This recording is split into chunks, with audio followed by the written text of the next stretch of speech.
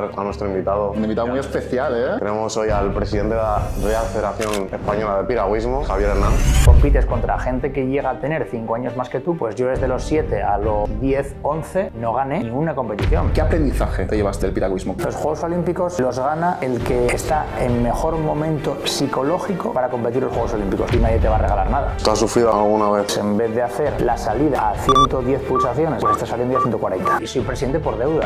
Considero que tengo una deuda con mi deporte porque si yo no hubiera hecho piragüismo, no hubiera tenido ni la calidad de vida que tengo, ni los amigos que tengo. Digamos que el piragüismo te ha cambiado la vida. A mí el piragüismo me ha cambiado la vida. Pasas a ser el objetivo de toda España. Yo entré para ser justos, para que haya piragüismo en todos los lugares de España.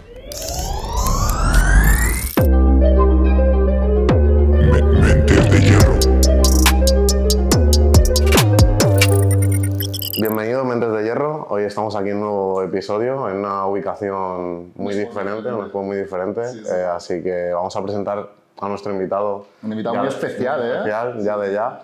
Tenemos hoy al presidente de la Real Federación Española de Piragüismo, Javier Hernández. Un placer. ¿Qué tal? Muy buenas, ¿cómo estáis? Muchas, gra- muchas gracias por invitarnos a tu casa, la verdad. Nada, ya solamente con el título de Mentes de Hierro ya es imposible que alguien deportista o ex deportista, en mi caso, no, no aceptemos esta entrevista. Muchas gracias, muchas gracias. Muchas gracias, Javier.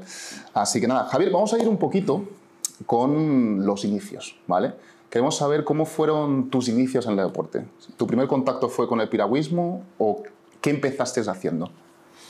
Empecé haciendo muchos deportes porque yo creo que también cuando eres deportista vienes de una serie de, de sucesos que, que van marcando a tu familia, a tus padres a tu alrededor que dicen este chaval es hiperactivo, hay que meterlo en el deporte. Entonces hacía ciclismo, hacía natación, hacía tenis, hacía piragüismo, hacía fútbol, hacía de todo, de todo, de todo. Entonces bueno, sí que es cierto que yo vengo de un pueblo que se llama Riondas, que es donde se hace la salida del descenso internacional del Sella y es muy cultural, muy típico que todos los, los niños de ahí pasemos por el piragüismo. Entonces al final, como creo que como en casi todos los deportes, eh, es una selección natural. Te vas metiendo en los deportes, si ganas, pues sigues y te vas motivando y te vas eh, motivando con ese deporte y, vas cogiendo pues eh, la, técnica y los parámetros que te van dando de alrededor, todos los inputs de toda la gente de alrededor que te va hablando de ese deporte, de lo bueno que era no sé quién, de que conocen a un campeón y al final todo eso va haciendo que te metas en una burbuja de, de- deportiva que la enfocas pues en los deportes que más te van eh, ¿cómo es? Más te van diferenciando del resto de la gente, ¿no? Por ejemplo, pues yo hice fútbol, hice piragüismo hasta los 17 años. A los 17 años, pues hasta los 15 años, perdón, a los 15 años ya decidí que quería entrar en un centro de tecnificación deportiva de piragüismo y entonces dejar el fútbol un poco más de lado, pero fui compatibilizando casi todo tipo de deportes. Pero es un tema de, de hiperactividad. De que tenías que hacer algo, ¿no? Tienes que sacar la energía, sí, no, pero toda la gente que estaba conmigo alrededor es que los aburría.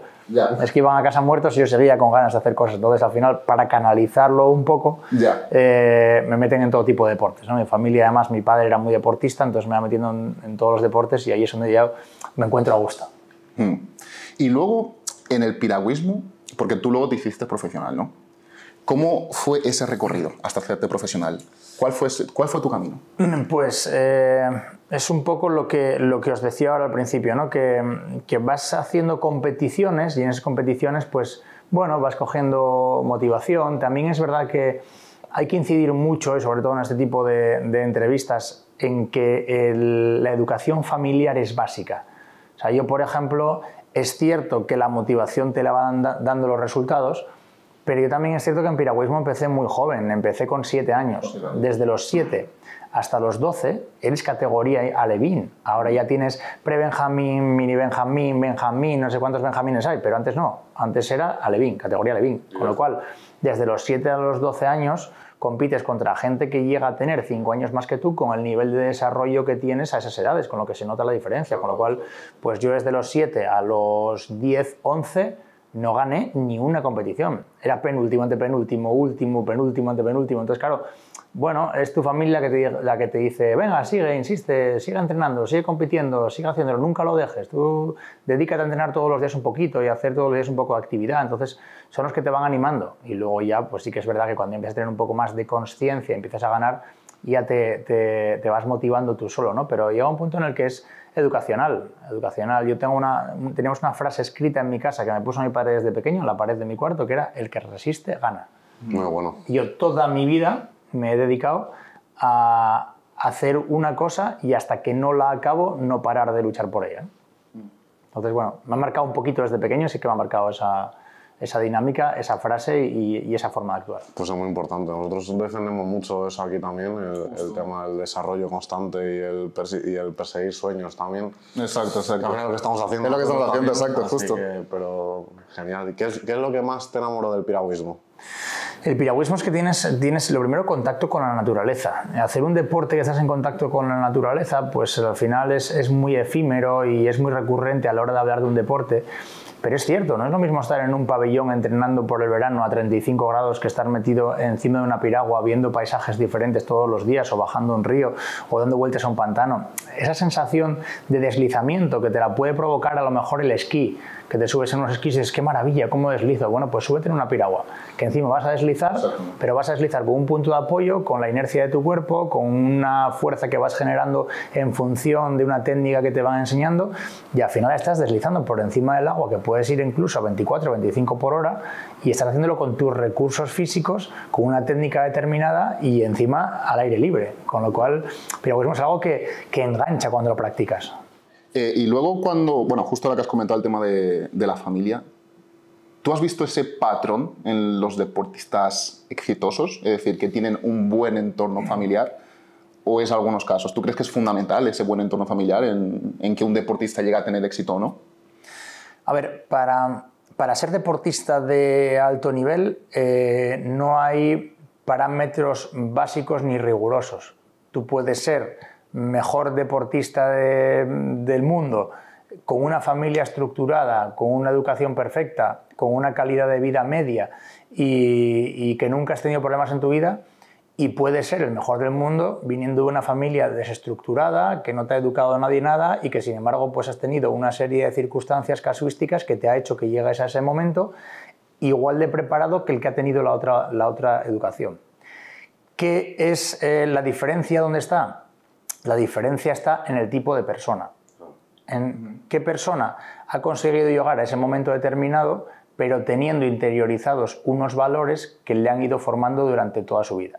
Pues valores familiares, valores del respeto, valores de la constancia, valores de la superación, eh, valores del juego limpio, valores de eh, saber eh, valorar las oportunidades que has tenido, no crecer con una animadversión y con una rabia y, con una inseguridad de decir, es que a mí me ha pasado todo esto y quiero salir a comer a alguien. No, es decir, yo tengo unos momentos mm, dulces en mi vida, en mi carrera deportiva, que tengo que aprovechar, que tengo que valorar y que tengo que disfrutar. Pues, puedes llegar a los dos sitios, pero con la educación lo que te va a ir haciendo es que te va a ir formando como persona y que entonces cuando acabes tu carrera deportiva pues seas consciente de lo privilegiado que has sido, tengas ese punto de felicidad por el agradecimiento que le das a esta formación, a tu deporte. Por ejemplo, en mi caso ahora mismo, pues soy presidente de la Federación Española y, y soy presidente por deuda. O sea, yo considero que tengo una deuda con mi deporte porque si yo no hubiera hecho piragüismo y el piragüismo no me hubiera colocado en la situación que me colocó, pues no hubiera tenido ni la calidad de vida que tengo, ni los amigos que tengo, ni hubiera conocido el mundo que conocí, que viajamos por todo el mundo. Entonces, yo estoy en deuda y yo entro aquí para intentar dar las mejores o mayores oportunidades y los medios a esos deportistas que vienen por detrás para que se puedan desarrollar al 100% y acabe más gente en la misma situación que estoy yo, diciendo qué agradecido estoy, qué afortunado he sido, qué maravilloso es nuestro deporte, esto se lo voy a enseñar al que viene por detrás. Y así conseguimos mejorar la sociedad. Entonces esta educación es la que te ayuda a luego ir canalizándolo para ayudar a la sociedad. Digamos que el piragüismo te ha cambiado la vida realmente, ¿no? A mí el piragüismo me ha cambiado la vida. Me ha cambiado la vida porque, porque te da una serie de oportunidades y te da una educación que parece que no, pero tenemos que ser conscientes de la importancia que tiene este deporte en la sociedad. O sea, el deporte eh, no solamente eh, es el deporte de los campeones, es el deporte de los que imitan a los campeones. Es el deporte de los que imitan a los que imitan a los campeones. Y es el deporte de los que arrancan desde pequeños y tienen unos referentes. Todos estos niños que desde pequeños no están en la calle, no están con una dinámica de malos hábitos, de alcohol, de drogas, de problemas, es porque están haciendo un deporte, es porque están eh, siguiendo los valores del deporte, de ese primer entrenador que te enseña a respetar, de ese club que te enseña a convivir, a compartir y demás. Ahí está la clave del, deporte, no solamente los cuatro que hemos sido top a nivel mundial, no, el deporte engloba muchísima más gente que practica el deporte y que está ayudando a prevenir eh, pues problemas eh, cardiovasculares, problemas respiratorios, problemas de todo tipo que con el deporte ayudamos a hacer mejor la sociedad y luego a nivel económico el deporte lo que ayuda es a no gastar tanto dinero en sanidad. O sea, Exactamente. No, no, tiene, no tienes que ir a solucionar el problema. Con prevenirlo ya te vale. ¿Cómo lo previenes? Metiendo cada vez a más gente a hacer deporte. Exacto. Y aparte de estos valores que comentas tú, ¿qué, qué aprendizaje te llevaste del, del, piragüismo? ¿Cuál dirías que fue tu mayor aprendizaje a raíz de esa, de esa época como deportista? El mayor aprendizaje que yo he vivido y el que yo intento eh, enseñar a los demás es que la felicidad no está en la consecución del objetivo, sino está en el camino hacia la consecución del objetivo. O sea, mi felicidad es que, o, o, yo valoro ahora mismo, a día de hoy, valoro que la felicidad es una hucha que vas cargando y que no vale con meterle eh, 100 euros el día que ganas el campeonato del mundo, sino que tienes que ir metiéndole un euro todos los días, todos los días, todos los días, y al final de tu carrera deportiva de 20 años metiéndole un euro todos los días, pues calcula el dinero que tienes. No, no son puntos de felicidad, sino es que con ese objetivo, eh, con constancia, esa pasión, esa actitud y demás, te va dando un punto de felicidad que en otros ámbitos de la vida, en otras áreas, sería la fe esa fe que te hace moverte, pues aquí lo mismo es este punto de motivación que te da los objetivos y que vas peleando día a día, día a día, día a día y que te reporta satisfacción de llegar a casa muerto pero satisfecho, pero llegas satisfecho, no llegas a casa con problemas de cabeza, no llegas saturado, no llegas en depresión, no llegas en ansiedad, no llegas... A casa satisfecho y dices, estoy muerto, es que no puedo ni levantar los brazos. Sí, es verdad, pero que estás satisfecho. Sí, y te vas a la cama y duermes y el día siguiente otra vez arriba. ¿Por qué? Porque tienes un objetivo que cumplir. Entonces el piragüismo me ha enseñado a que no todos son consecución de objetivos, no es tener, sino al final es el día a día, es una dinámica lo que te da la felicidad. Y esa disciplina también, ¿no? Que al final... Te... Claro, esta disciplina, que al final la disciplina es cierto que viene acompañada siempre del compromiso de la motivación. Tú estás muy motivado, pero esa motivación te hace pensar en ese objetivo que lo que te va dando todos los días esa disciplina, decir, bueno, pues hoy, hoy mira, no tengo eh, mucha gana de ir a entrenar, no estoy tan motivado para ir a entrenar, pero sin embargo lo voy a hacer. Y lo haces y vaya, hombre, resulta que llegas a casa a última hora satisfecho, claro. contentísimo, diciendo, hoy que no tenía ninguna gana de ir, he conseguido hacer unas series en piragua en las que he podido ir pues a 70 paladas y a 14 kilómetros por hora. Jolín, hacía tiempo que no podía ir yo con esa, ese margen de deslizamiento por palada. Y llegas a casa satisfecho.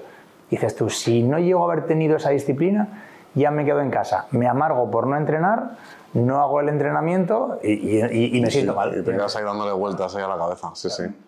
¿Y qué significaba el, el piragüismo para ti? Porque al final es, es, es, verdad que no todos los días vamos a tener motivación y tienes que recordarte a ti mismo por qué empezaste. Entonces, ¿qué es lo que te movía a ti? ¿Cuál era tu motor para ir todos los días a entrenar? Esos días de bajón que no te apetece nada, que dices, buf, me quedaba en casa.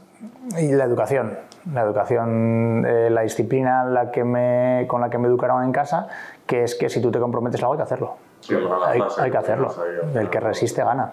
Entonces tú tienes que plantearte un objetivo y hay que pelearlo, pase lo que pase. O sea, yo sí me he caracterizado, mi pandilla de amigos, en mi grupo de entrenamiento en la selección española, era porque si hay que hacer un entrenamiento, se hace llueva, nieve, diluvie, me duele una pierna, una oreja o la cabeza. Eso ya iremos luego al fisio, ya nos verá el médico o incluso, bueno, te puede decir el médico que no puedes entrenar porque, porque no, no te lo recomienda, ¿no?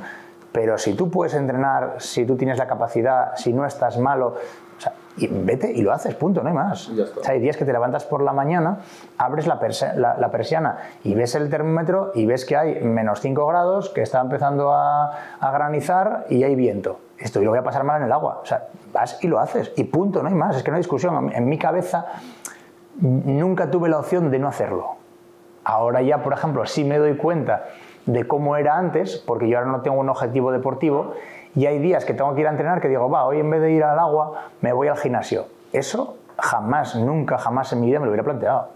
Yo tengo que hacer media hora de carrera, tengo que hacer una hora de gimnasio y tengo que hacer dos horas de agua y se hacen y punto. Sin excusas. O sea, vamos, no hay excusa ninguna. O sea, es que lo que hay que hacer es que no, no, nunca concebí el, va, hoy no voy.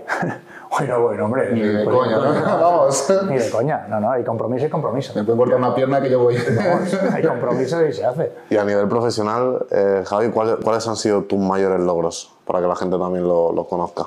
Pues mis mayores logros a nivel profesional han sido el llegar al equipo nacional y estar en el equipo nacional 18 años. Yo creo que es muy importante llegar y, muy meritorio llegar, eh, pero mantenerse durante 18 años en el equipo nacional siendo uno de los cabezas visibles del equipo nacional, pues eh, yo creo que, que merece más reconocimiento por la disciplina y la constancia, el cuidarse, llevar unos buenos hábitos de vida saludables y demás, que por haber tenido esa- ese beneficio genético que de repente llegas y ganas, pues porque eres único, porque te ha tocado. Lo que hablábamos antes. Claro, Sí, entonces yo valoro un poquito más el, el haber estado ahí porque eres una persona muy disciplinada.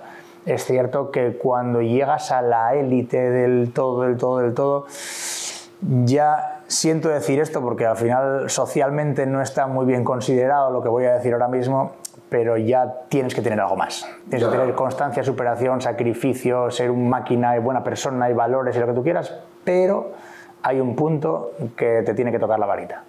Y eso lo tienen mm, cuatro contados en España. Que eso llegas al momento más importante de tu vida, sacas lo mejor que tienes dentro y eres capaz de imponerte a todo el mundo. Eso hay cuatro. Entonces tú puedes llegar a ser un top mundial, está muy bien, como he sido yo, pero para llegar a ser el número uno ahí hace falta un puntín y es un puntín pues de cabeza, de genética, de lo que tú quieras, pero ahí mm, eso ya, ya, ya no se trabaja. O sea, ser el número uno ya no se trabaja. Trabajas hasta llegar a, a- a la primera línea de los mejores del mundo, pero el ser el número uno, eso ya... Diría- ¿Dirías que eso es lo que diferencia realmente a un deportista, digamos, más normalito que, que un portento? plan, Vosotros, para tener ahora mismo una explicación más populista, más, más popular, vosotros tener en cuenta a, a Messi, por ejemplo. Eh, y os pongo el fútbol porque solamente en fútbol hay un millón de fichas en España, con lo cual imaginaros a nivel mundial puede haber mil millones de personas practicando el fútbol. Hay muchísima gente que entrena como Messi, que come como Messi, que se sacrifica como Messi, pero tiene ese punto especial que no te lo va a dar ni la constancia, ni el sacrificio, ni la superación, ni la buena alimentación, ni te lo va a dar nada. Es un punto que te ha tocado, ¿por qué? Porque es que la coordinación que te ha tocado en ese momento es mm, fabulosa. ¿sabes? Es, ha sido una mezcla genética entre lo que te aportó tu padre, lo que te aportó tu madre, tus abuelos. Esta mezcla genética más luego se junta con que estaba en el momento justo de nacer en un sitio donde había un entrenador que los primeros años de vida lo supo motivar, que, que jugaba contra una gente que le pudo ganar y no lo desmotivó, porque si de a lo mejor pues nace Messi en Rosario, pero al lado nace Cristiano Ronaldo que se desarrolla más rápido que él y que no le deja ganar ningún partido, pues ese niño al final dice, oye, yo lo dejo. bueno, pues exacto. se dan una serie de circunstancias que le ha tocado y te ha tocado. Exacto. A Nosotros tenemos un deportista que se llama Saúl Cravioto, que el tío se ha tocado por la varita. Pero claro, es que te coge 110 kilos y te hace una repetición en pectoral a velocidad de 1,2. Es decir, que es imposible, es un pistón. Claro, O sea, tienes, una, exacto. tienes una fibra que, que, claro, es, es increíble. Entonces, bueno, son cosas que por mucho que entrenes, por mucho que hagas, sí, pero hay que estar, hay que estar tocado. Claro. Y aparte de esta genética física, tú que has trabajado con muchos campeones, a nivel de mentalidad, ¿qué características ves en común eh, entre los campeones a nivel de, de mentalidad, a nivel de mindset? Eh, ¿Qué es lo que has observado tú? La diferencia está en, en la estrategia que cada deportista tiene para poder competir. Algunos necesitan eh, estar alegres, divertidos, no pensar en ello. ¿Por qué? Porque si piensas en ello te cargas de, una intensidad muy alta, te presionas mucho y cuando te presionas mucho, pues en vez de hacer la salida en el Campeonato de España a 110 pulsaciones, que es como lo hace siempre, pues estás saliendo ya a 140. Y hay 30 pulsaciones en las que tu cuerpo ya no está actuando exactamente igual que actuaba cuando entrenas. Y tú al final casi siempre compites como entrenas.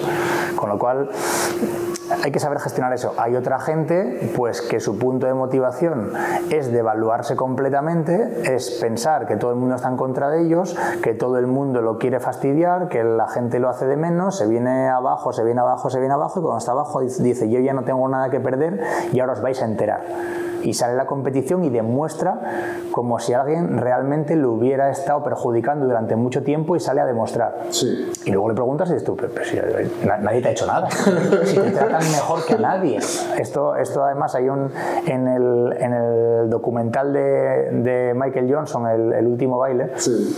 hay una final, no me acuerdo ahora mismo contra qué equipo es, y entonces eh, Michael Jordan sale a la final y de repente el, el tío cada vez que mete una canasta va al entrenador del otro equipo y hace así como diciendo, ¡ay, fastidiate y tal! Y, y entonces claro, cuando acaba el partido le preguntan al entrenador, ¿pero a ti te ha pasado algo con Jordan? Y dice, no, yo nunca en la vida tal". Y entonces dice, no, no, es que Jordan dice que ayer os cruzasteis en el restaurante y que no lo saludaste y que lo hiciste, y que lo hiciste de menos. Y dice, pues si no lo vi. Pero Jordan estuvo toda la noche dándole la cabeza y al día siguiente salió que lo quería matar. Lo mato. ¿Qué Y que dices, te vamos, qué dices ¿verdad? tú? Cómo la estrategia de este deportista es canalizar toda su rabia ahí como diciendo, "Ahora te vas, vas a enterar de lo que... de- Y otro diciendo, pero yo no entiendo nada, ¿sabes? ¿Por qué me vienes a hacer no he hecho nada. Yo no he hecho nada, ¿sabes? Pues hay mucha gente que, que compita. Si yo conozco a los, los top mundiales, casi todos los top mundiales que yo conozco, los mejores de la historia, casi todos tienen esa estrategia. Es que es como de generar una animadversión, canalizar una rabia que consiguen sacar en ese, en ese momento. Yo, por ejemplo, eso no lo, no lo podía hacer. Yo tenía que competir eh, muy feliz, disfrutando mucho, sintiéndome yo el mejor, sintiéndome un poco reconocido, un poco valorado, un poco que la gente diga, eh, Javi, muy bien, ¿cómo vas? Eres un fenómeno, tú, te lo crees y cada uno tiene lo suyo. Claro. Yo a lo mejor, pues en momentos en los que hay mucha, mucha, mucha tensión y la cosa está muy crispada y no sé qué, pues yo ahí no me encontraba a gusto y no competía muy bien. Y sin embargo, pues esta gente que tiene esa estrategia, pues da igual cómo de crispada esté la cosa, que ya se saben desenvolver ahí y pase lo que pase, yo voy a ir a ganar y, y ganan, para demostrarte que son los mejores.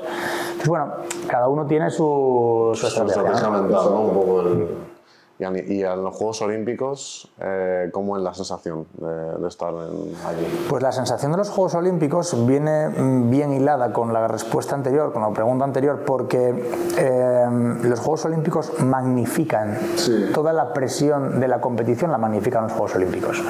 Cuando tú vas a un campeonato de Europa, un campeonato del mundo importante, nosotros somos capaces de presionarnos mucho a nosotros, pues porque tus 365 días anteriores han ido mm, han estado enfocados, 364 han ido enfocados a esa competición.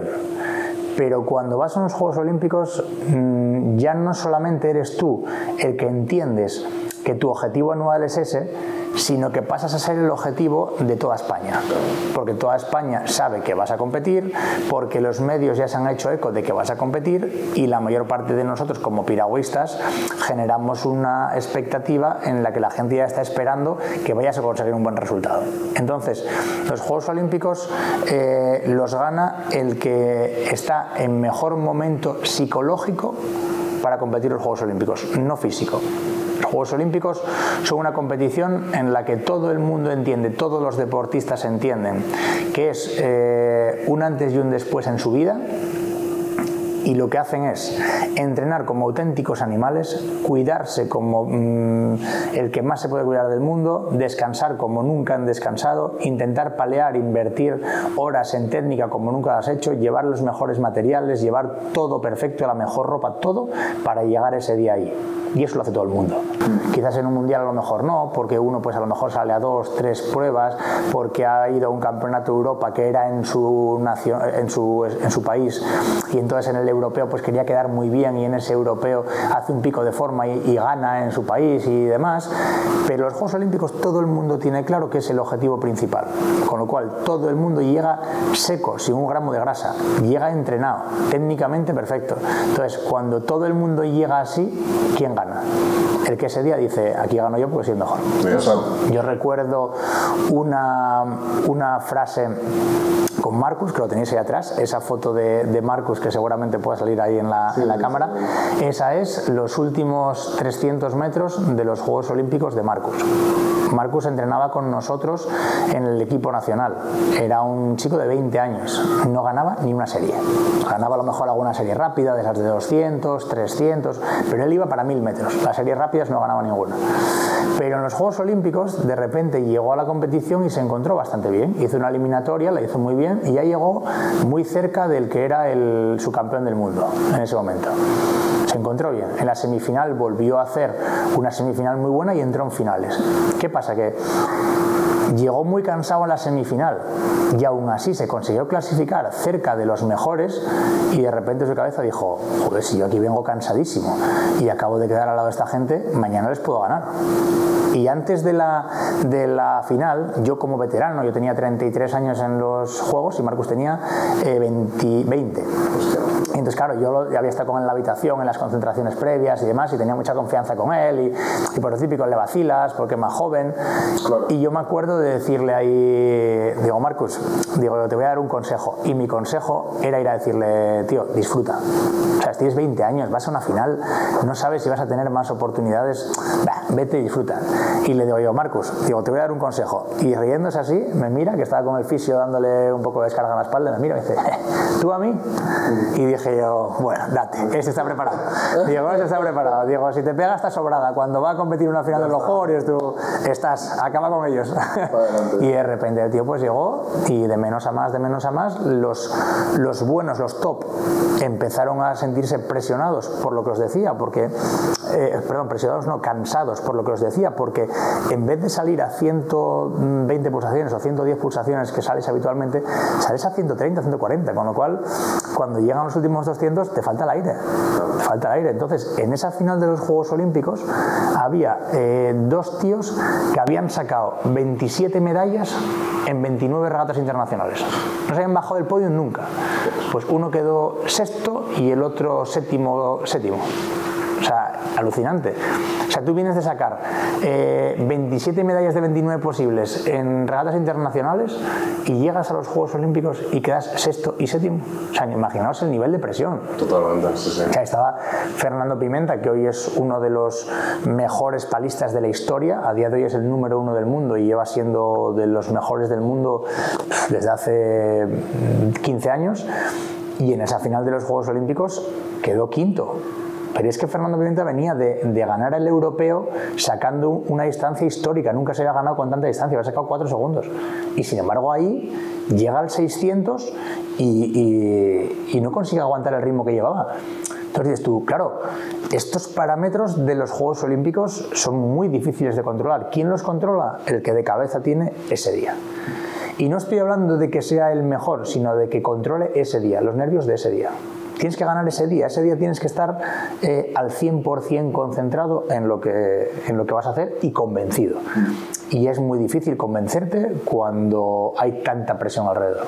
Que tiene que ser una locura. el- Sí, tiene que ser un locura un tío. Toda la presión y todo, pero el, ambi- el ambiente tiene que ser para vivirlo, ¿eh? tiene que ser espectacular.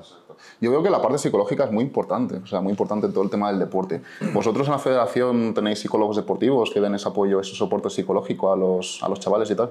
Sí, yo desde que entré es cierto que a, a todos los grupos de entrenamiento que lo solicitan se les da el apoyo psicológico. De hecho, ahora mismo me parece que hay cuatro o cinco grupos que tienen apoyo psicológico. También es verdad que la experiencia hasta ahora lo que me va diciendo es que la mayor parte de los deportistas top no necesitan psicólogo. Ya. O sea, son gente que han ido creando su propia estrategia de competición a nivel psicológico y que llevan compitiendo tantos años y haciéndolo tan bien que ellos no quieren que nadie entre en su cabeza ni quieren que nadie les diga cómo tienen que afrontar una prueba porque ya están ganando haciendo eso. Claro. El psicólogo muchas veces aparece en un momento de tu carrera deportiva en la que tienes muchas dudas y ya tu estrategia la has perdido. Y ya tu estrategia psicológica ya está un poco porque la has hecho cuatro o cinco veces, ya has perdido cuatro o cinco veces, entonces ese es el momento duro. Es el momento duro y es el momento en el que puede aparecer el psicólogo o el momento en el que tú dices, ha sido una mala racha, pero tengo este punto que se mezcla entre inconsciencia y muy, mucha inteligencia, porque son los dos parámetros. Alguien que sea un poco inconsciente en este sentido no asume que ha perdido porque ya no es el que era, y esa inconsciencia muchas veces te hace que vuelvas a ser el mejor. Que de repente, nada, yo he perdido porque eh, la piragua se me ha estropeado. Y en la siguiente prueba, nada, pues he perdido porque se me ha girado la pala. Y en la siguiente, nada, he perdido porque no sé qué. Pero todos los días afrontas la competición pensando que puedes ganar. Claro. Eso es un punto de inconsciencia que, que es tremendo en el deporte y que a veces dices, esta persona, ¿cómo puede ser tan inconsciente? ¿No te estás dando cuenta que pierdes porque eres un paquete ya? Bueno, pues, pues tú estás pensando que él es un paquete porque ha perdido cuatro o cinco veces y el tío sigue pensando que ha sido culpa de los demás. Oye, pasan dos años y vuelve a ganar y dices tú, me cago en la mar. Ya. Lo que hace la cabeza. O sea, lo que hace la cabeza, que tú eres capaz de con ese punto de inconsciencia coger y volver otra vez a ser el mejor. Y luego hay el otro estado que es el que yo que más, más dominado tengo, que es el de la gente muy inteligente. Un Damián Quintero, un Mireia Belmonte, un Saúl Cravioto, son gente extremadamente inteligente. Son gente que tienen una capacidad de concentración y de asimilación que son capaces de superar todas estas adversidades controlando todos los parámetros que se pueden mejorar en un momento dado. Cuando la gente está muy nerviosa y no controla todos los parámetros, esta gente son capaces de controlarlo todo. Y estos son los número uno de la historia y son extremadamente inteligentes. Son gente que tiene una capacidad de concentración brutal, brutal y una asimilación de conceptos que cuando se concentran en algo arrollan, arrollan. Con Toro lo que hablamos mucho también fue que él, cuando más sufría a nivel mental era cuando no estaba compitiendo, de hecho, que tenía ese bajón de post-competición también. Sí, porque en- este caso eh, Toro es un competidor, es un, es un competidor. Muchos de nosotros eh, somos muy disciplinados a la hora de, de entrenar y nuestra motivación es diaria. Y hay deportistas que no les cuesta esa, esa disciplina diaria porque lo entienden, como yo os he dicho, con la educación que yo tengo, lo entienden como un medio para llegar al fin pero que sea el fin también ese día a día, que todos los días hagas entrenamiento y que acabes ese objetivo y que acabes feliz y acabes contento. Y otra gente que no, que solamente se centra en la competición. Entonces, ese entrenamiento durante todo el año se hace muy pesado. De hecho, eh, no sé si hay unas declaraciones de, de Mohamed Ali en las que habla que ha entrenado como sufriendo y de mala gana toda su vida y que se ha sacrificado a entrenar toda su vida para tener algún momento de gloria.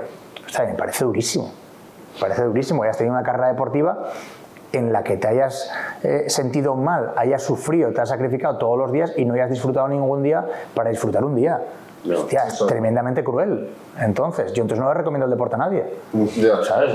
Claro, claro, o sea, ¿cómo, ¿cómo vas a tirarte eh, cuatro, cinco, seis años entrenando, sufriendo, sacrificándote, haciendo algo que no te gusta, que, que odias o que asqueas, para luego llegar y decir, toma, soy campeón del mundo? Muy bien, si pasa mañana nadie se acuerda de ti, pero tú sí que vas a poder mm, tener en tu cabeza que has sido feliz durante un montón de años. Un montón de años. Y, y es muy difícil ser feliz cuando solamente vives de un recuerdo de victoria. Es muy difícil. Y ese es el problema que tiene la mayor parte de los deportistas hoy en día.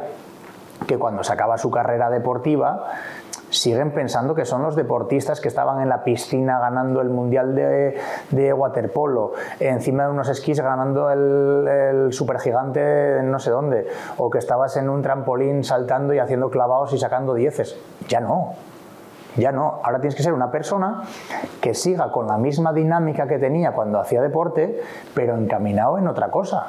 Y tu día a día tiene que seguir siendo feliz. Y tus objetivos tienen que empezar a estar, o sea, tienen que seguir estando bien definidos. Y tienes que estar disfrutando con tu día a día.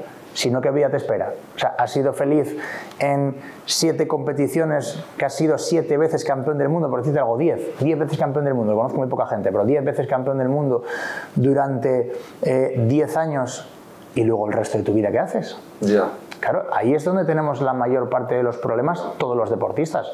Cuando lo dejas, es verdad que tienes que pasar un periodo de luto porque mm, te quitan algo de lo que has vivido durante 20 años, que es esa, esa adrenalina que te genera el deporte, y pasas a una actividad laboral que no tiene ese punto de adrenalina, y bueno, pues esa nostalgia tienes que pasarla. Ese luto por esa nostalgia la tienes que pasar pero automáticamente tu cabeza tiene que decirte, vamos a ponernos unos objetivos y a pelear por ellos. Y sigas haciendo deporte todos los días para que tu cabeza siga funcionando, porque tienes unos hábitos adquiridos que son los que te reportan sí. ese punto de felicidad, pero ahora ya tienes unos objetivos que tienes que ir disfrutando cada día. No puedes vivir del recuerdo, sino es que es cuando empiezan todos los problemas de, de ansiedad, de, de depresión. de- claro. ¿Tú has sufrido algún- alguna vez algo, algo del estilo? o- Yo no, yo no porque, por lo que os decía al principio, yo no porque mi educación siempre ha estado enfocada a, a objetivos y a agradecer mucho lo que me da la vida. O sea, yo, por ejemplo, eh, esto a mi familia no le gusta que lo diga, a mi mujer no le gusta, pero a mí no me importa morirme. Y cuando entiendes que, que no te importa morirte y asumes que no te importa morirte, el resto de la vida te da igual. Pero a mí no me importa morirme porque he vivido durante 40 años feliz. Porque he tenido la oportunidad de nacer en una familia que me ha enseñado, que me ha valorado, que me ha educado de una manera en la que no me ha pasado nada. Y entonces yo vivo en deuda. Vivo en deuda porque mis padres están bien de salud, porque mi mujer está bien de salud, porque yo estoy bien de salud.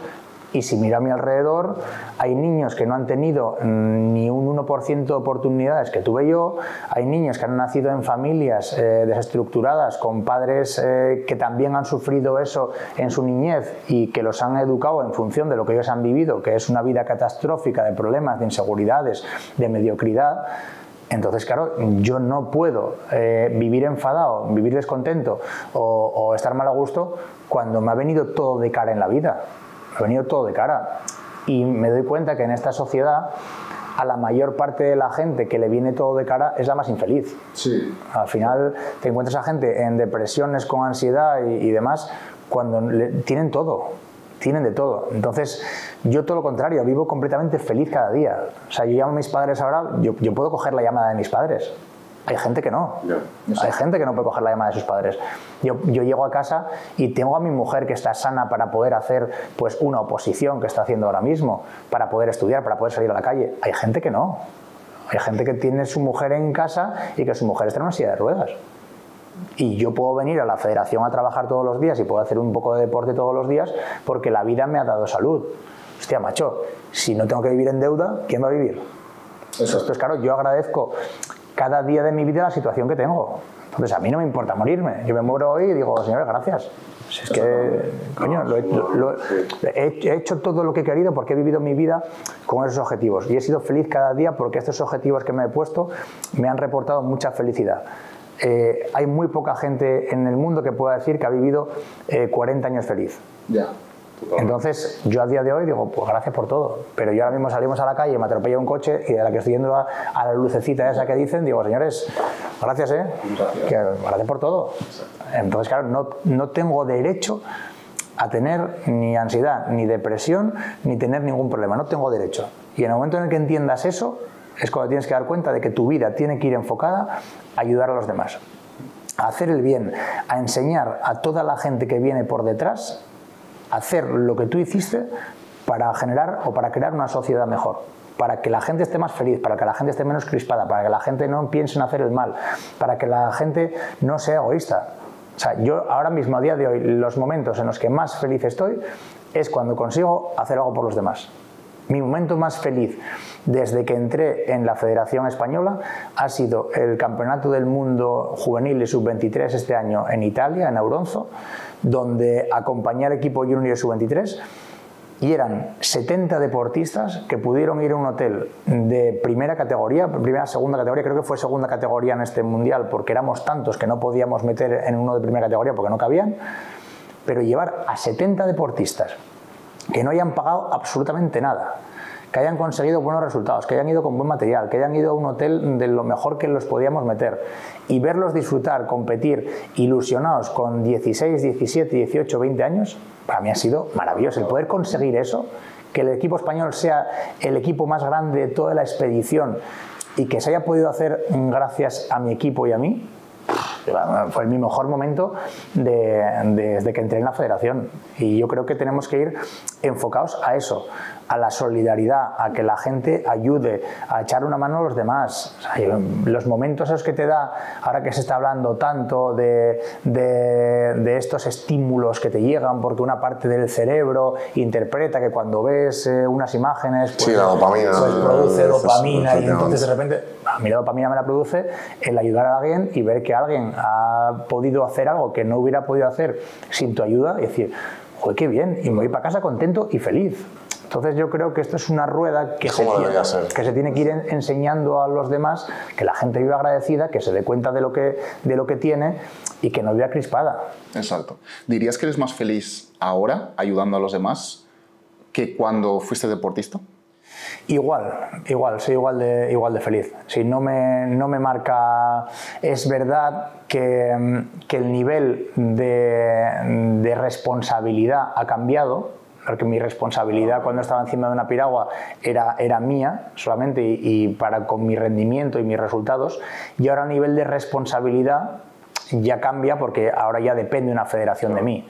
Entonces, eh, eso a veces te hace que tengas un poquito de miedo por cómo vas a actuar, a ver si lo estás haciendo bien o no lo estás haciendo bien, pero en realidad no soy ni eso lo, aprendes a asumir pues en un año, dos años, con un poco de experiencia, como cuando llegas nuevo a un sitio, aprendes a, a asimilar eso, aprendes a ayudar hasta dentro de tus posibilidades, lo que tú puedes hacer, y, aprendes a organizarte, a no eh, trabajar eh, 24 horas al día. Que trabajas mucho, vale, trabajas 16, pero necesitas otras 8 para estar en casa con tu mujer, con tu familia, eh, descansar y demás, porque es sano para ti, para poder tener energía y seguir trabajando igual de bien durante unos cuantos años. ¿no? Entonces yo creo que igual de feliz antes que, ahora. ¿Cómo fue, ¿Cómo fue el paso, Javi, de, pasar de competir y demás a llegar a ser presidente de la federación? Bueno, pues el, la- el proyecto federativo nace en una sesión de gimnasio en, en Sevilla. Con, sí, sí, además digo- os digo los nombres, con, con Paco Cubelos, con Íñigo Peña, con Carlos Garrote, estábamos en una sesión de gimnasio en Sevilla. Y yo siempre he sido de los que, como os digo, pues intentaba echar una mano a los demás, intentaba reclamar eh, beneficios para los demás, para todo el equipo, ¿no? por el bien común. Entonces me dijeron, ¿y por qué no te presentas a las, a las elecciones? Digo, bueno, pues estaba en un buen momento, eh, entrenando bien, tenía buena relación con la, con la Federación Española, con el presidente de la Federación Española tenía una buena relación, con lo cual pues eh, lo vine a ver y le pregunté, oye, ¿te vas a presentar a las próximas elecciones? Porque lo que no quiero es generar una- un enfrentamiento en el mundo del piragüismo. Si te vas a presentar, pues vamos, se me pasa por la cabeza, lo estás haciendo bien, los resultados están saliendo, bueno, pues bien, perfecto.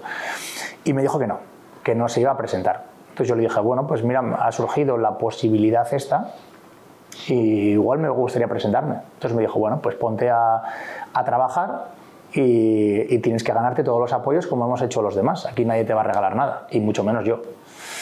Entonces yo me puse pues, a hacer lo único que sé, trabajar, trabajar, trabajar, trabajar, trabajar, trabajar, hasta que eh, un club eh, dijo, pues yo confío en tu proyecto, me gusta mucho tu iniciativa, tu capacidad, y bueno, todos me conocían de, de- de la capacidad que tenía de entrenamiento y de, y de trabajo, y dijeron, bueno, pues ¿por qué no vamos a apostar por, por renovar esto, por meter gente joven? Entonces un club empezó, luego ese club pues tenía mucho tirón, vino otro club, ya esos clubes ya empezaron a tocar a gente alrededor, ya esos clubes también mm, pues tenían a deportistas importantes dentro, tenían a técnicos importantes dentro y al final, bueno, pues vamos creciendo, creciendo, creciendo, creciendo hasta que de repente, pues bueno, pues nos, nos presentamos a, unas elecciones y las perdí. Y fuimos a unas elecciones y yo las, las perdí, las primeras elecciones que fuimos, y perdí por, por tres votos, me parece que fue. Y sí, fue, además acabé muy orgulloso de esas, de esas elecciones porque había empezado de la nada, empecé solo. Empecé solo, no tenía padrinos. Yo llamaba, al teléfono, llamaba por teléfono a la gente y les decía, hola, muy buenas, soy Javier Hernán. No, hombre, ¿qué pasa, campeón? ¿Cómo vas a Piragua? Tal, no sé qué, bien, bien, tal, que estás entrenando, bien, bien, tal, bien. Que me quiero presentar a las elecciones. Ah, muy bien. Ánimo, venga. Suerte. Claro, palmadita claro, palmadita y- sí, sí, venga. Una cosa es, una cosa eres el deportista, que, te, que cuando eres deportista te consideran como deportista, Pero ya cuando llamas a los gestores de clubes, autonomías y demás, y ya es algo que ellos dominan, ya, bueno, una cosa es que tú seas deportista, pero otra cosa ya es la parte de gestión. Ahí, bueno, ya, veremos, ya veremos a lo que haces, lo que ofreces, cómo trabajas, pero nadie te, nadie te da esa palmadita que te dan cuando eres deportista, ¿no? Entonces, em, seguí, perdí estas elecciones y bueno, pues la verdad es que perdí, perdí, como cuando perdía una competición. Yo pierdo, eh, quedo satisfecho porque fue un buen trabajo, como cuando voy a un campeonato y oye, no ganas y bueno, va, pero mira, estuvo bien, mi primer campeonato está bien. Me voy a casa y digo, pues dentro de, cuatro años volvemos otra vez a presentarnos en el caso de que la federación no vaya bien o de que el presidente que está en ese momento diga que no quiere seguir y ya está, perdí, perdí. Y luego eh, pasaron unos cuantos meses, eh, hubo desavenencias entre el grupo que había entrado eh, a gestionar la federación en ese momento y, mucha gente de ese grupo que había entrado a gestionar se puso en contacto conmigo para poner una moción de censura al presidente actual. Tras, ahí me dio vértigo. Pierdes, pierdes. ¿sabes? No, no, no, lo va a revisar el bar. No vamos a que lo revise el bar. Si pierdes, perdiste. Yo estoy acostumbrado a perder y perder y te vas para tu casa y ya está. Y entonces empieza a generar pues, pues, eh, un ambiente de, de, poner una moción de censura, de poner una moción de censura. Entonces al principio era mm, que no, que no, que no, que no, hasta que vi que había como mucha intencionalidad alrededor de poner la moción de censura. Entonces, bueno, pues surge una serie de circunstancias y al final pues se decide poner una, una moción de censura y, y, la ganamos. Y ganamos la moción de censura. Entonces, al final acabé entrando a la federación por una moción de censura que a mí no me gusta, porque haber entrado a una federación, una moción de censura, yo creo que no es algo bueno para el, para el deporte pero que la propia ola, la propia inercia de todo lo que, lo que venía por detrás y todo lo que había alrededor me obligó a ponerla. O sea, si no lo hubiera puesto yo, lo hubiera puesto otro. Claro. Entonces dije, bueno, pues después de llevar trabajando dos años y medio, casi tres, en, en, en, este, en estas elecciones, eh, a ver si ahora va a ser otro el que entre de presidente después de haberlo trabajado de tres años. Y fue cuando dije yo, fue el detonante de decir, bueno, pues la presento yo. Pero vamos, nunca se me hubiera ocurrido a mí de mano presentar una, una moción de censura cuando pierdes, pierdes. Y claro. se acabó. ¿Y cuál dirías que es la parte más difícil de, de, ser presidente de la Federación Española de Piragüismo? A día de hoy la parte más difícil de ser presidente es gestionar, gestionar voluntades, es gestionar las necesidades de todo el mundo eh, de manera justa. Es, es que todo el mundo entiende y por naturaleza, y es normal, que tiene un problema muy importante. Ese problema muy importante lo traslada a la federación y se lo tienes que resolver. Uh -huh. ¿Qué pasa? Que si tú resuelves ese problema, es un agravio comparativo en el 90% de las veces con el resto de federaciones. Entonces, las dinámicas de las federaciones hasta ahora han sido de que te echo una mano a ti, te consigo echar otra mano a ti y te ayudo a ti. Y, y claro, eso a mí me cuesta un poquito porque yo entré para, para cambiar las cosas. Yo entré para ser justos, entré para, para tratar a todas las comunidades autónomas por igual, para que el piragüismo, eh, para que haya piragüismo en todos los lugares de España, para en vez de tener 10.000 fichas llegar a un punto en el que tengamos 100.000 para que practiquen deportistas, para que practiquen, haya piragüistas practicando piragüismo en, en, la comunidad valenciana, en Murcia, en Andalucía, en Cataluña, en Galicia, en Asturias, en Cantabria, en todos los sitios, en Extremadura. O sea, todos los sitios tiene que haber, tiene que haber piragüismo. Entonces, eh, el, el ser justo a día de hoy es una de las cosas que más cuesta por la presión que se ejerce. Por el tienes que darme a mí esto, porque yo necesito esto, porque merezco esto, porque, porque yo te apoyé en las elecciones y entonces me tienes que dar esto. Entonces es difícil ser, ser justo, es difícil. Yo lo, lo estamos consiguiendo y, y, es un trabajo duro, pero, pero está consiguiendo. ¿Y cómo va ese proyecto? Llegar a, a toda España. Bien, yo creo que muy bien. Estamos haciendo mucho esfuerzo, mucho esfuerzo por parte de todos los miembros de la junta directiva y, y, de los trabajadores de aquí de la federación por intentar ayudar a todo el mundo. Desde que entré en la federación, mmm, nunca hasta ahora, nunca, llevamos dos años que hicimos hace 15 días, nunca le he dicho que no a nadie, que no lo voy a ayudar. Nunca ni, he intentado perjudicar a una federación, ni cuando me han pedido ayuda no la he ayudado. O yo ahora mismo eh, no recuerdo eh, que me haya llegado aquí una petición de ninguna comunidad autónoma que yo diga mañana voy ahí, me siento contigo o te llamo por teléfono y te lo intento solucionar o te ayudo. O sea, nunca. Entonces, es lo que os decía, es mi dinámica de vida. Yo intento ayudar todo lo que puedo. Intento echar una mano a todo el mundo. Es verdad que hay muchas veces que no llegas a todo. Claro. O que a lo mejor, pues por la inexperiencia, no tienes el conocimiento para poder solucionar esos problemas. Pero rápidamente intento buscar a profesionales que les puedan echar una mano. Exacto. Pero a día de hoy va muy bien. El proyecto federativo eh, llevamos dos años y del programa electoral que presenté tres hojas de programa electoral por delante y por detrás, eh, está cumplido el 95% del programa electoral en dos años. Entonces, claro, nos falta eh, innovación y digitalización porque estamos esperando a, a una subvención que saca el Consejo Superior de Deportes enfocada a digitalización. En cuanto entre eso, pues vamos a digitalizar la, la federación. Entonces, son mínimas cosas que vamos a conseguir hacer. Entonces, bueno, me siento muy orgulloso de todo lo que dije que iba a hacer, lo he Se hecho. está haciendo. Hemos, hemos eh, prometido que ningún deportista, o, o hemos prometido, sí he puesto en el programa electoral que ningún deportista se pagara los viajes a las competiciones internacionales. Este año hemos sacado a competir 300 deportistas fuera. Ninguno se ha pagado eh, el, el viaje. Una pasada eso. Entonces, claro, eh, llegas al campeonato de- del mundo de Auronzo y los franceses pagan 350 euros, los alemanes 250, los ingleses 400, los neozelandeses 8.000 dólares por venir a competir cada deportista y que llegue un grupo de 70 españoles que no pagan absolutamente nada, pues me siento tremendamente orgulloso. No, no, completamente. Entonces, otra de las cosas que queríamos hacer era pues no depender tanto de ayuda gubernamental, de poder tener patrocinadores eh, externos. Claro, en dos años eh, hemos batido el récord histórico de patrocinadores de la federación, metiendo más de un millón de euros en, en dos años. Con lo cual, pues son cosas que, que te sientes orgulloso, que nadie te va a agradecer, porque mm, si estás esperando un reconocimiento público, eh, mm, repercusión pública positiva, aquí no lo vas a tener. Claro. Busca otro medio porque la federación es algo que, que cuando tú entras en gestión federativa o gestión política, lo que hagas bien es necesario que lo hagas y es obligatorio que lo hagas y es tu deber que lo hagas y lo que haces mal es tremendamente criticado porque no tienes derecho a hacerlo mal. Eres un gestor público y tienes unas obligaciones, pero aquí no tienes derechos. Y eso todos los que entramos en, en gestión lo sabemos, tanto en política general como en política federativa. Mm, Yo he tenido un cambio, he tenido un cambio radical de estar 18 años comiendo para mí, durmiendo para mí, pensando solo en mí y dedicándome solamente a mí, y recibía aplausos, felicitaciones, peticiones de fotos, eh, comentarios positivos, eres el mejor, eres un crack, eres un máquina, eres el ídolo de mi hijo, me encanta lo que haces, me encanta cómo paleas, eran todos refuerzos positivos.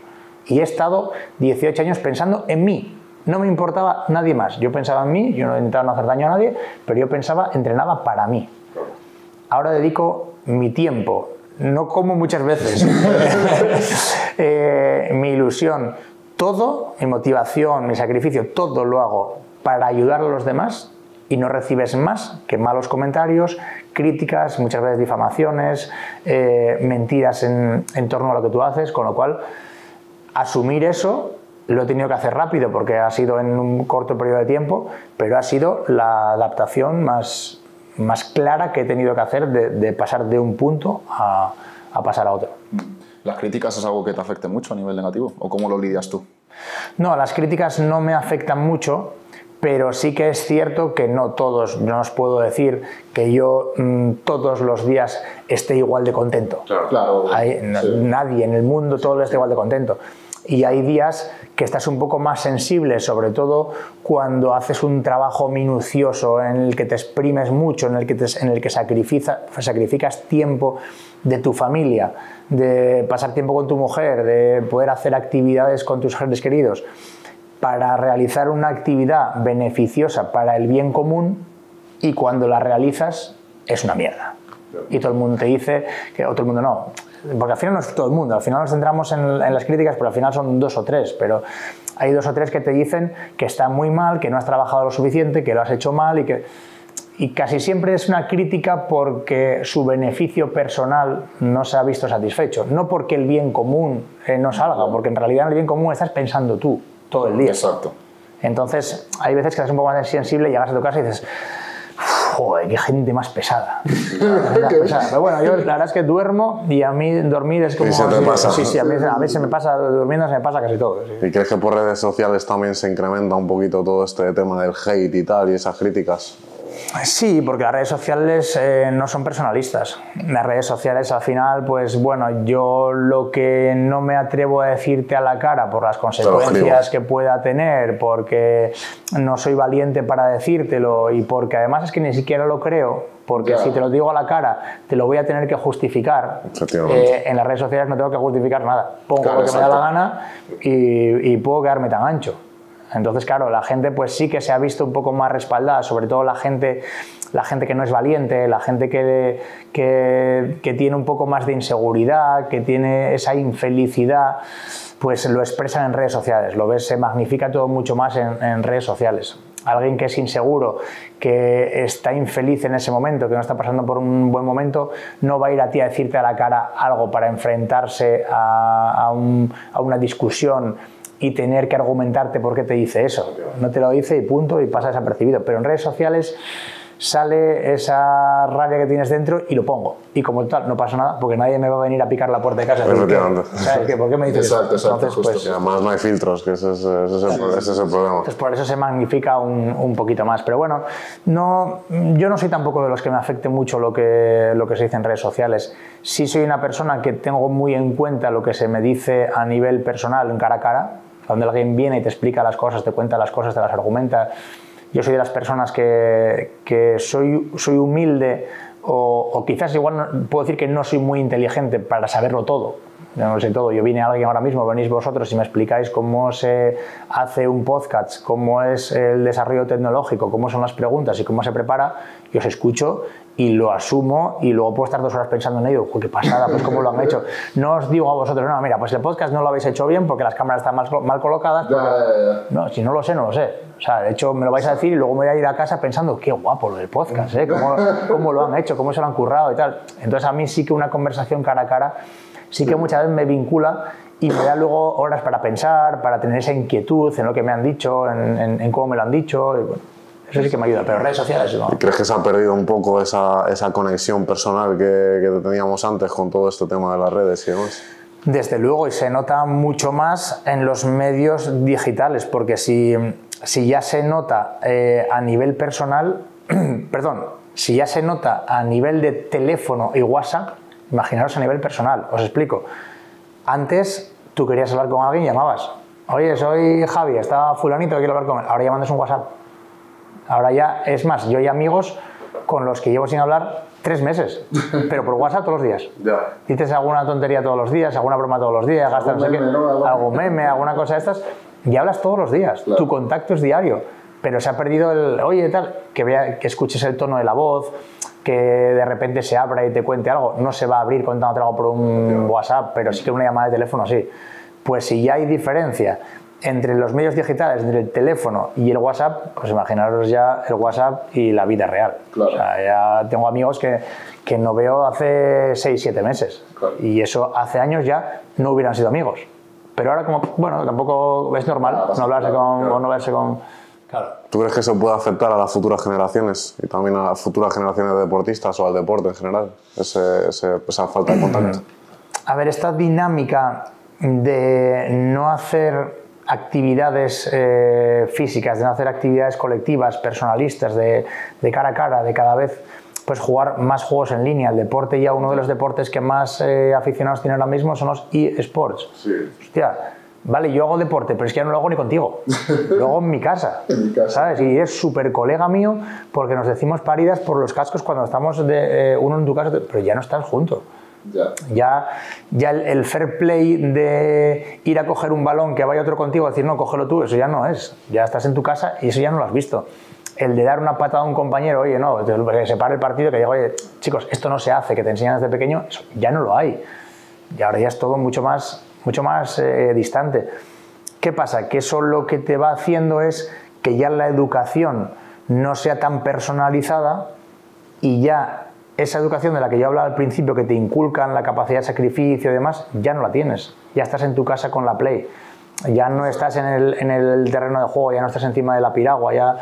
Entonces, eh, ¿qué pasa? Que el compromiso del que hablábamos antes, eh, este año lo hablábamos, por ejemplo, en un campeonato de Europa, los alemanes nos lo decían a nosotros. Ya no tenemos generaciones en Alemania que tengan un compromiso como las que había antes.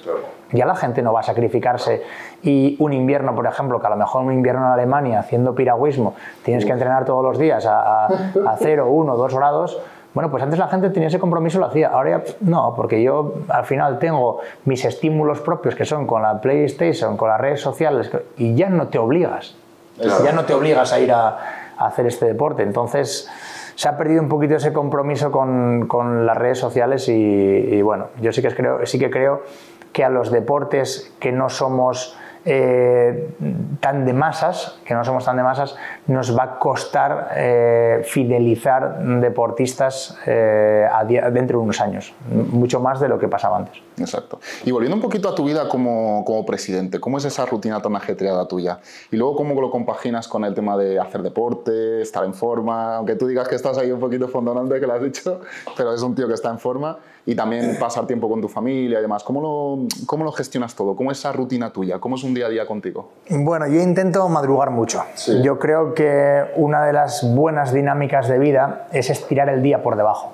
Es eh, levantarte temprano y empezar a hacer actividades, pero se puede hacer en España. En España tiene más sentido que fuera porque aquí somos un país que tenemos actividad hasta última hora del día. Sin embargo, por las mañanas no hay tanta actividad. Entonces, sí que es cierto que aquí en España tiene mucho sentido porque haces muchas cosas por la mañana y cuando la gente empieza a estar activa ya has hecho todas esas cosas. Ya. Entonces en España el que madruga consigue hacer un montón de cosas porque a última hora de la tarde ya todo el mundo trabaja, ya la gente se queda hasta tarde. Y luego entiendo, o, o yo por lo menos mi concepto es que a partir de las 8 o 9 suelen ser horas casi siempre perdidas. suelen ser horas de, un poco de teléfono, de televisión, de series, de, son horas que, que, no son productivas. Sin embargo, nadie madruga a las 5 de la mañana para ver una serie. Ya. O sea, madruga a las 5 de la mañana para ser productivo, para hacer ejercicio. Entonces yo ahora mismo intento levantarme todos los días a las 6 menos cuarto de la mañana, eh, cojo el, el, coche, me voy a entrenar a Aranjuez, que está a unos 35-40 minutos si no hay tráfico desde mi casa, entreno, me hago una horita, hora y cuarto de, de, piragua y luego me cambio y vengo a la federación y empiezo a trabajar ya todo el día hasta, hasta que se acaba el día, que pues puede ser las, las 6, las 7, las 8, eh, bueno, 6, 6, 7 no lo vi casi nunca, pero bueno, las 7, las 8, las 9 y, y entonces mi, mi, dinámica de vida es trabajar durante, durante todo el día. Tengo suerte a día de hoy también porque mi mujer está opositando, con lo cual estudia 10 o 11 horas al día. O sea, que está ocupada también. ¿no? Está ocupada, sí. Entonces, bueno, también es verdad que me acompaña mucho y me apoya sí. mucho. Pero mi dinámica es esa, y estoy aquí en la federación, intento traerme algo de comida, como aquí, bueno, pues voy tirando las, las tardes, sacando el trabajo adelante, y luego los fines de semana normalmente hay competición. Ahora hay un periodo eh, transitorio de como si fuera de preparación de temporada en la que no hay muchas competiciones, lo que llamamos pretemporada, que no hay muchas competiciones, pero hay actividades todos los fines de semana. Pues si no es cursos de formación de árbitros, son cursos de formación de entrenadores, si no son galas a las que tienes que ir, porque también eres representante de la federación, con lo cual tienes que representar al estamento eh, a nivel administrativo. Entonces, todos los fines de semana estás ocupado. Si por el verano ahí tenemos 70 competiciones oficiales, más luego las 15 o 20 competiciones que hay internacionales, con lo cual pues yo desde principios de abril hasta octubre todos los fines de semana están ocupados. No bueno, viajando, ¿no? También, todos viajando. Viajando. Este año pues hice como 10 países, el año pasado también, y luego comunidades autónomas, pues todas las comunidades autónomas en las que hay competición, casi todas he ido una vez este año. Y, Javi, ¿qué, tres hábitos eh, tienes en tu vida, en tu día a día? Ya sabemos, uno de ellos es levantarte muy pronto. ¿Qué otros dos o tres más que tengas ahí que, que sean para ti algo que hagas todos los días, que tienes que hacerlo sí o sí? Sí o sí, el madrugar, yo tengo que hacerlo sí o sí para, para estar a gusto conmigo mismo. Yo cuando madrugo mm, suelo tener días estupendos, cuando no madrugo suelo tener peores días. No tengo días, malos, días malos, no suelo tener muchos, pero sí que no son como cuando madrugas, que, que llegas muy satisfecho. Luego otra es el hacer, el hacer actividad deportiva. Tengo que hacer todos los días, necesito hacer actividad deportiva porque O sea, mi- los siete días de la semana, ¿no? mi cuerpo lo necesita. Sí, sí, a lo mejor pues, pues oye, que el sábado saliste a cenar y te liaste un poco y al día siguiente, el domingo, pues lo decías tomar de descanso. Pues bueno, es una dinámica que tengo adquirida desde cuando era deportista, que estuve 20 años descansando los domingos y, y entonces tampoco, bueno, puede ser que a lo mejor el domingo, pero si el domingo descanso, el lunes a las 5 y cuarto estoy que me tiro de la cama. O sea, tengo que estar entrenando el lunes a primera hora de la mañana. Y luego, eh, otro hábito que, que he cogido estos dos años que no tenía es obligarme a pasar eh, una hora, hora y media todos los días con mi mujer. Lo necesito para la cabeza, necesito el, madrugar, el hacer deporte y echar todos los días un rato con, con mi mujer. Tengo que hacerlo porque al final, si no, vas perdiendo de todo. Vas, vas perdiendo los hábitos si no madrugas, vas perdiendo el físico si no entrenas y vas perdiendo las relaciones familiares si no las cuidas. Con lo cual, yo esos tres pilares Son fundamentales. sí. Y el tema de la nutrición, ¿tú consideras que es importante para, para ti, para rendir bien en, en tu trabajo? Yo considero que la nutrición es esencial. Es esencial. Si teniendo una buena nutrición eh, estás más lúcido, eh, utilizando bien los horarios, los periodos de ingesta de alimentos eh, en el día, vas, a ser, vas a estar más activo, vas a tener más energía, te vas a encontrar mejor contigo mismo, vas a tener mejores digestiones, vas a dormir mejor, no te va a entrar tanto el sueño. Entonces son cosas que son pequeños, pequeños inputs que durante el día son importantes para que tú seas productivo, para que rindas mejor. Entonces, claro, si hay algo tan fácil como la alimentación que te va a reportar tanto beneficio, pues hazlo. Ya. No, no tienes que subir al Everest, tienes que coger y todos los días comer un poquito. ¿vale? Lo que pasa que es lo mismo que la educación, es lo mismo que los hábitos. Eh, yo, por ejemplo, te pongo el caso de mi mujer. Yo sí que es verdad que tengo una educación un poco más enfocada a la ingesta de hidratos de carbono y en gran cantidad, porque vienes de hacerlo toda la vida cuando eres deportista, y ahora reconozco que hay veces que me cuesta frenar. Mi mujer está educada desde pequeña a comer muy bien y, y come medio plato de pasta y está bien, está perfecta, no necesita más. Y luego al rato pues come otra cosa, come un poco de fruta, come un poco no sé qué, y la tía es feliz comiendo eso, satisfecha, no necesita nada más, que un día tiene que comer una hamburguesa, come una hamburguesa y queda perfectamente. Y yo tengo todavía esa cultura de deportista de no, una hamburguesa no, como cuatro hamburguesas. Con cuatro hamburguesas y mojarlas en queso y, lo que te- y dices, claro, si como, como. Entonces dices, no, bueno, a ver. Entonces eh, sí que es verdad que, que lo veo muy, muy, muy importante y que es totalmente educacional, totalmente educacional. Entonces yo sí que reconozco que me cuesta un poco más por la dinámica del deporte, pero, pero es algo que hay que trabajar y hay que trabajar con los niños de pequeños a enseñarlos a, a comer bien. A desde pequeños es cierto que desde pequeños, por ejemplo, yo que venía de pueblos y muchos de nosotros pasábamos grandes temporadas con nuestros abuelos que venían de épocas de posguerra Ya. y era come, come, come, come. Oye, Si no pasas hambre, come, ¿eh? Come que, que hay que comer, ¿eh? Y come pan y bebe leche. Sí, sí, y, sí. y claro, hoy en día ya nadie ha pasado penurias en la guerra. Ya no hay nadie que haya pasado penurias en la guerra. Tus abuelos ya no han pasado penurias en la guerra. Con lo cual ya no te están enseñando en come, come. Ahora ya la alimentación ya la puedes llevar un Sí, poco tenemos un acceso más constante a alimentos. además. Antes, ahora tienes acceso a todo tipo de alimentos saludables. Antes comías lo que te anunciaban por la tele.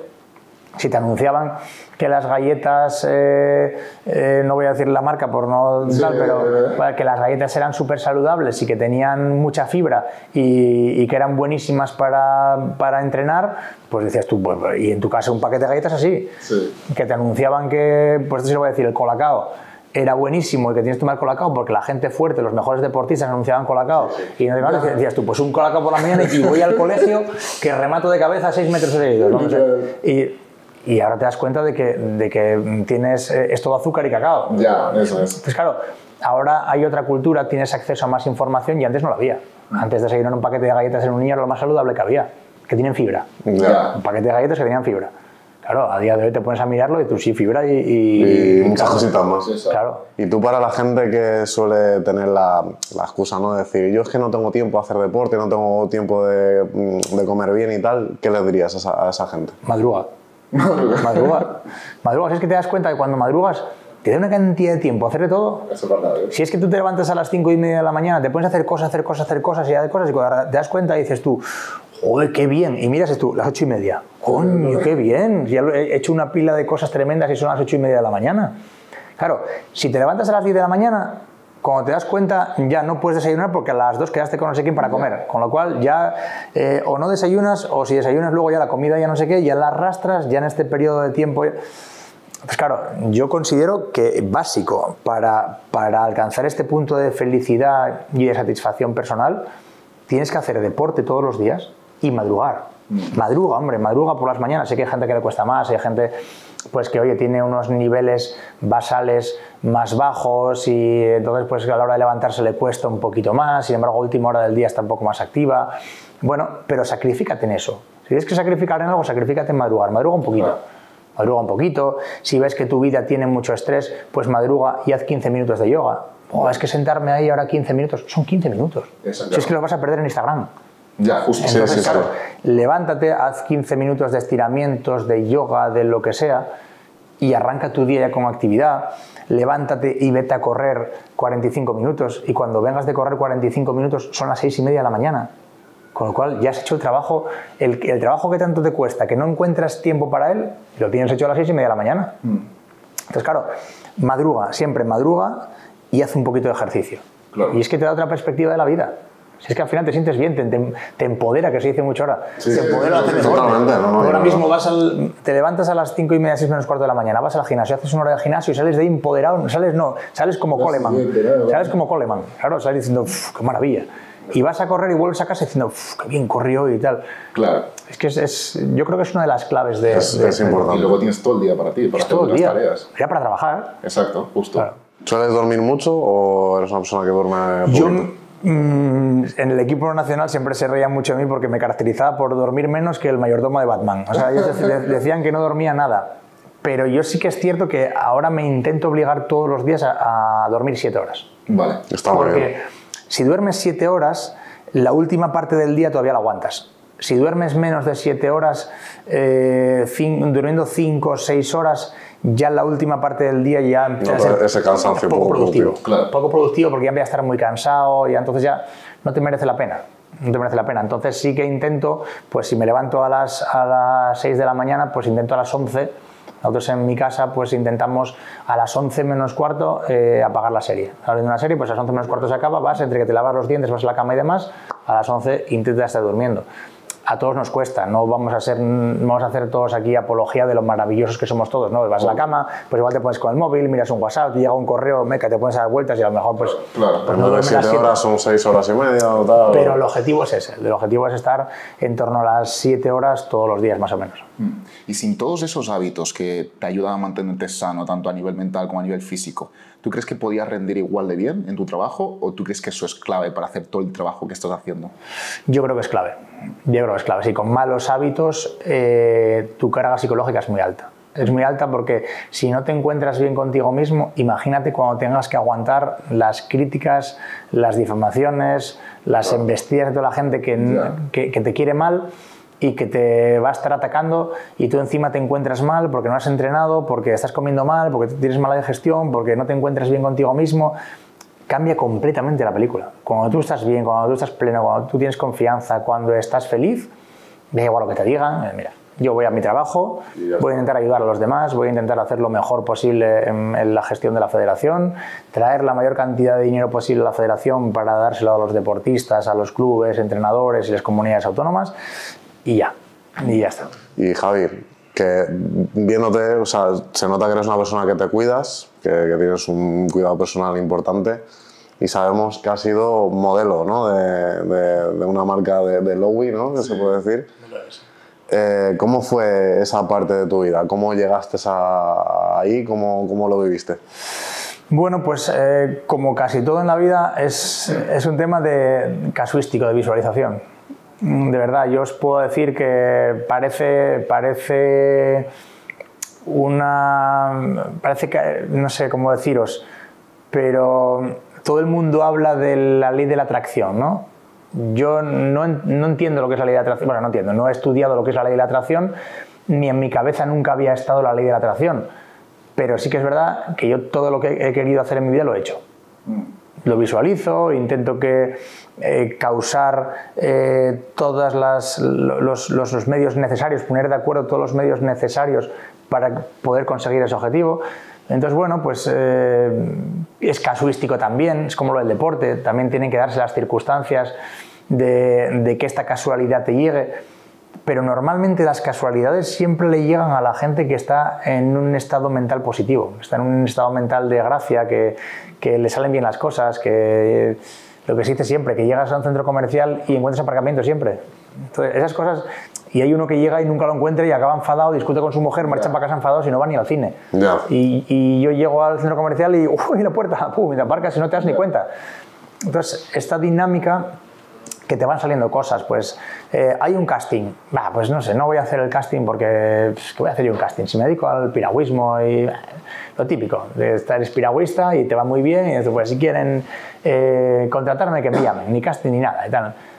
Pero luego, pues como todo, cuando tienes una conversación, lo que os decía antes, cuando tienes una conversación y alguien te cuenta algo, pues te quedas pensando y le das una vuelta y dices, oye, ¿y por qué no voy a hacer un casting que nunca hice un casting y así cojo experiencia, aprendo lo que es Claro. y ya tengo una experiencia más en la vida? Bueno, pues mira, voy a ir a hacer el casting. Pues fui a hacer el casting y de repente era un casting para la marca de Colonia Loewe, para el perfume Loewe, y me cogieron.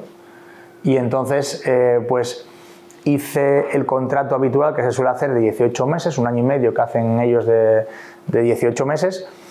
Y a los 18 meses, pues se nos acababa el contrato al grupo de chicos que fuimos, que nos habían cogido a cuatro chicos.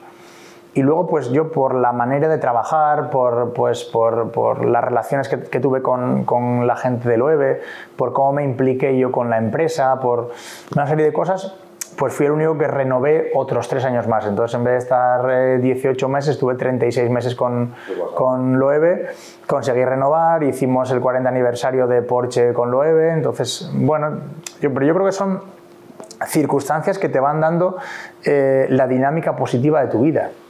No hice nada excepcional con Loewe para poder renovar.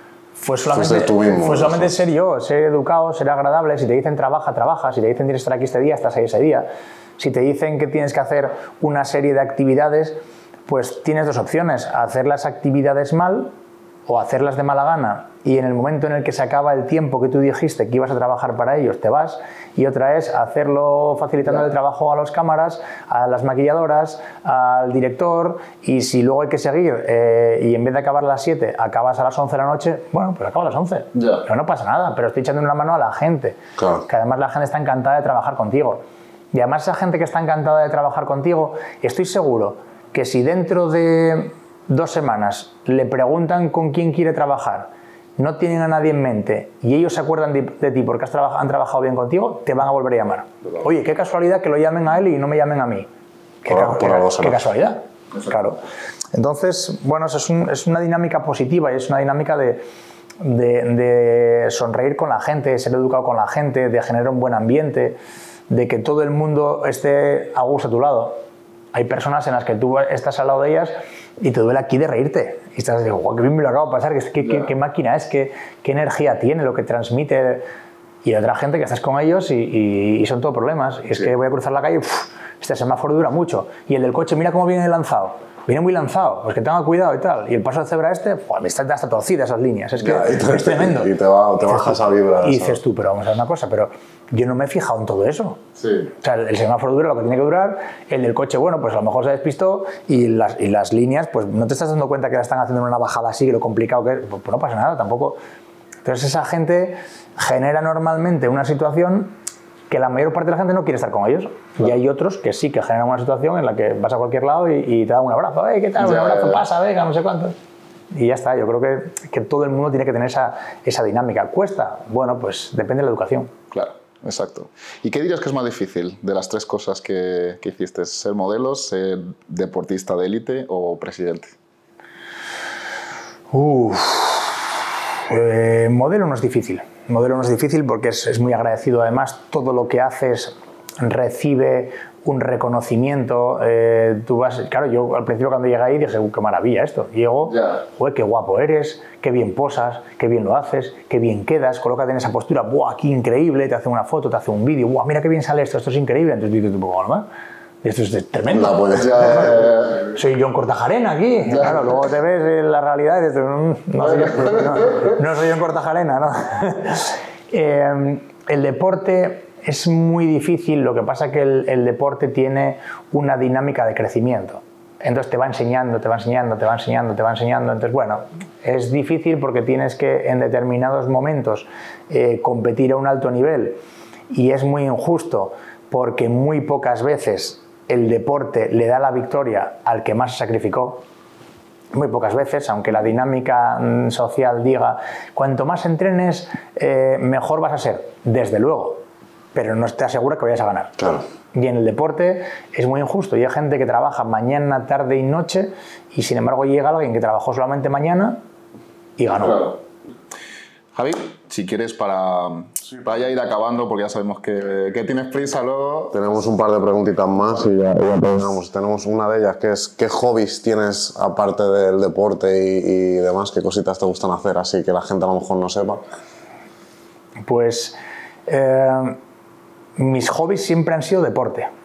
Siempre han sido deporte. Ahora, por, por la casuística de mi trabajo, ya no puedo hacer tanto deporte, pero yo mi- mis hobbies es eh, salir a hacer una ruta en bici, cogerme la tabla, ir a la playa, eh, ponerme los guantes, ir a, a pegarme al gimnasio un poquito, hacer un poco de, actividad de defensa personal y demás, que me encanta de, de siempre, eh, ir a echar un partido de pádel, ir a echar un partido de fútbol. Yo siempre han sido mis hobbies. Si tenía un poco de tiempo libre era para hacer deporte.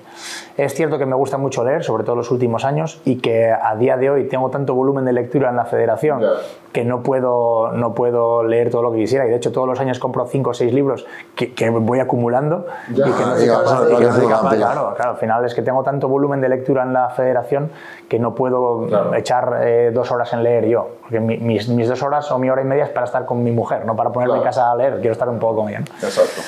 Entonces siempre han sido, mis hobbies siempre han sido mm, deporte. Deporte, deporte, deporte. Pues mira, justo con lo que has dicho de, de la lectura, eh, tenemos la otra pregunta que vamos a hacer es que si sueles leer y qué tres libros no pueden faltar en tu biblioteca. Uh, pues son casi todos son de, de autoayuda. Los que he leído siempre, hay uno que, bueno, un- una, una novela que, que interpreta Brad Pitt en, en- en la película que se llama Pactar con el Diablo, que a mí me encanta. Eh, luego hay otro que es el Club Bilderberg de Daniel Stalin, que me gusta muchísimo.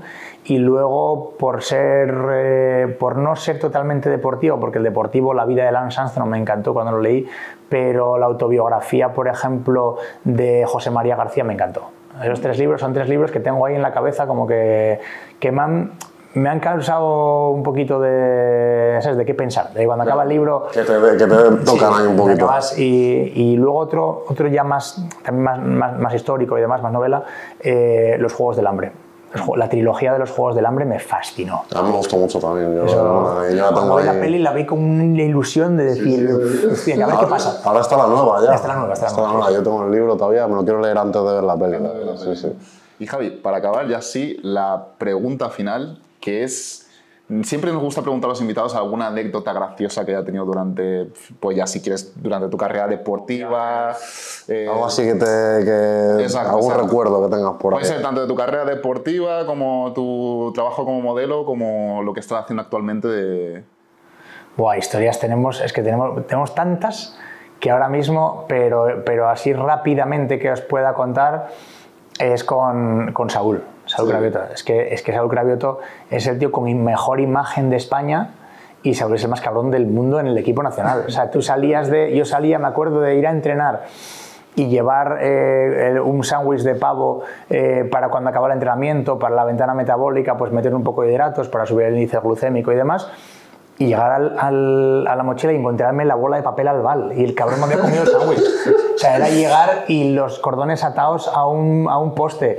Era llegar y tener dentro del- de los playeros metido no sé qué. O sea, es que era el que siempre la liaba. O sea, son de estos que cuando estás mirando- mirando a Patista, estás mirando y pensando y riéndose como diciendo, a ver cómo te la juega. O sea. Sí, sí, eso, la verdad es muy bueno. Si os fijáis, yo creo que casi todas las fotos que hay de él en campeonatos de Europa, campeonatos del mundo y Juegos Olímpicos, el tío, si no gana, Bueno, yo creo que aún ganando, eh, te dan un ramo de flores. Ajá. Bueno, pues ese ramo de flores en el podium siempre se lo pone, al que queda primero o segundo se lo pone en la cabeza y entonces aparece el otro con la peineta siempre aquí el ramo de flores en el podium y te ves todas las fotos de campeonatos de Europa, Juegos Olímpicos y demás con la peineta de Saúl al otro. El- Sí, esas anécdotas del equipo, pero bueno, tenemos, no sé, 50.000 ahora mismo, no, no, si, me dais cinco, si, pa- si paramos Cinco y me dais minutos. cinco minutos, empiezo vamos, vamos a contar, pero... Nada, pues genial. Vamos Pues a ir con ya sí, lo último. Tenemos aquí el, el cuadernito de, La de las fir- de dedicatoria, las las firmitas. firmas, Puedes poner lo que quieras que tú o quieras poner. un dibujo, lo que, lo, que te, lo que te dé la gana a ti. Y, y nada, esperamos que te lo hayas pasado bien, que hayas estado Vale, a gusto. ¿cómo, ¿Cómo era el nombre de cada uno? ¿Cómo es? Eh, David y Felipe. Yo soy David, el de Sí, Felipe. pero sí. bueno, el podcast Mentes de, Mentes de Hierro, como prefieras.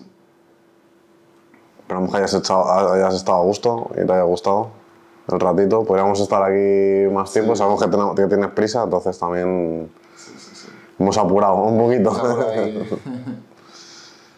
¿Alguna persona, Javi, que, nos, que te gustaría ver aquí en el podcast? A Damián Quintero. Sí.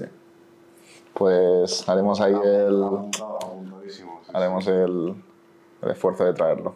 Hemos hablado un par de nombres antes, que la verdad Sí. que sería, sería, sería una, una- una pasada, no vamos a decir nada, efectivamente. Secreto de Estado aquí. Ya cuando salga, ya que... Y recordad, MDH Coaching, chicos, también estamos ahí activos. Eso Eh, Darle cañita. Cualquier cosita, pues nos tenéis por Instagram, tenéis nuestro correo. Suscribiros a YouTube, al Spotify, Apple Podcast también estamos ahí. Que mucha gente nos ve, pero no, no, no Efectivamente. se suscribe. O sea que Efectivamente. darle ahí al botoncito. Spamead. Seguir hablando que yo estoy escribiendo, ¿eh? Ah, vale, vale, vale. Tú no te preocupes. Vale. Si quieres, leo tú, David, a... Pues muchas gracias, Javi.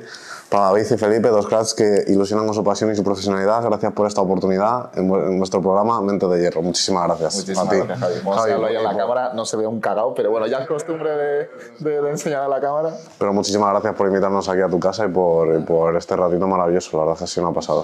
Así que nada, si quieres despedir tú el, el programa, pues A vosotros.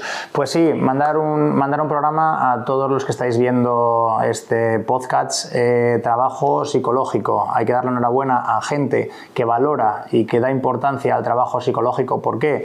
Porque en el día a día la cabeza es la que marca la diferencia, es la que te hace tener buena dinámica, es la que te hace tener buen trabajo diario, es la que te hace tener ese punto de felicidad y poder ayudar a los demás. Con lo cual, señores, mucho trabajo de aquí. Trabajo muscular para sentirse bien con uno mismo, pero mucho trabajo de aquí. Un saludo y disfrutar del programa. Nos vemos en el siguiente, chicos.